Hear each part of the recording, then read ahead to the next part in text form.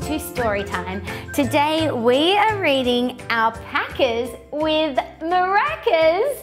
This sounds like fun and it's by Matt Cosgrove. Let's see what this could be about. Also, how good are alpacas? All right, here we go. This guy is called Macca. He's an alpaca. Everyone say hi, Macca. Hey. He looks great. Oh, he likes eating pickles and loves getting tickles. Look at all the things giving him tickles. And do you like pickles? because I don't think the mice down here do. Let's see. Oh, this guy's called Al. He's Macca's best pal. He's in an alpaca too, with a shaggy hairdo. Look at all that hair. My goodness. Al has a big heart. Aww. Oh, and look, there's a sloth. Al is giving the sloth some flowers. Oh, but he isn't that smart. Geronimo! Oh, oh, oh, oh, oh, oh, oh! Look, he's being bitten by some fish. oh dear, see the sign here? says, don't jump in, there's fish.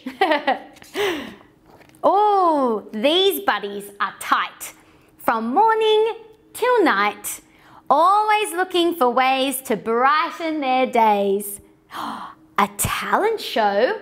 Let's give it a go, Al said with a grin. I bet we could win. Macca beamed back. All we need is an act. Hmm, interesting. A talent show. Wonder what they'll choose. So, most earnest and gallant, they searched for their talent. They tried strumming. Uh-oh, I don't think that went very well.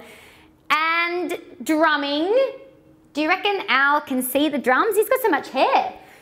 Oh, and crashing and thrashing. Let's just take a moment for their outfits here. They look like the coolest alpacas. oh, but the sound from the boys was a horrible noise. Uh-oh. They look great, but apparently don't sound too good. I wonder what they'll try next.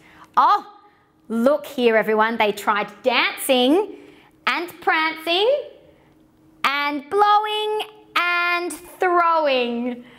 But the cuddly duo were utterly so-so. oh dear. Yeah, juggling's hard.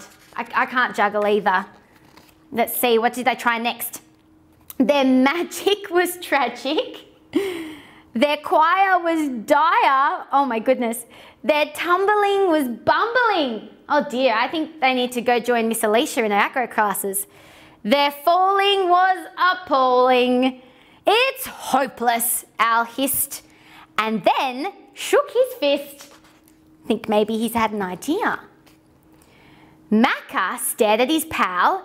You're a genius, Al. We can't sing or play brother, but we can shake like no other. We don't need a big fracas. We just need maracas. Ah, oh, check out their maracas.